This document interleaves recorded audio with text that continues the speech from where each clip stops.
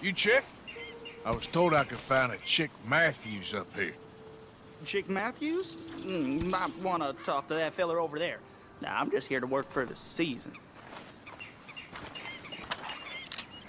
Well, I don't know anything about that.